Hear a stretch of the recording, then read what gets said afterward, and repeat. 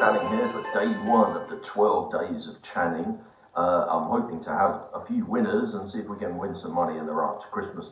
Now, today, obviously, uh, we don't have too much racing going on because of the weather, uh, but there is a meeting at Lingfield, uh, and I think I found a bet in the 320, the last race on the card. Um, it's a it's a nine runner race over 10 furlongs, and the horse in question is Hot Day. Uh, now, Hot Day, um, he has run quite a lot of times and he's only won once uh, from 16 starts. Uh, and that was a win uh, off of a rating of 60. Uh, but he's going down the weights a little bit and um, he's only really been running over 10 furlongs the last couple of times. He did have one other run over that distance.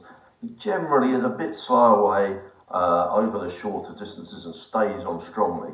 Two runs recently over 10 furlongs uh, both times he's found a bit of trouble in running, and both times from a wide draw. I'm hoping today, and last time I thought he was quite unlucky actually, uh, and the handicapper decided to drop him two pounds, so he's running on 53, uh, which is seven pounds below um, his, his sole winning mark.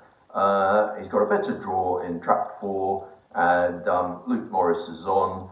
And I just thought to myself, well, look, he, he was a bit unlucky last time. He still came third. He looked like he could have won the race.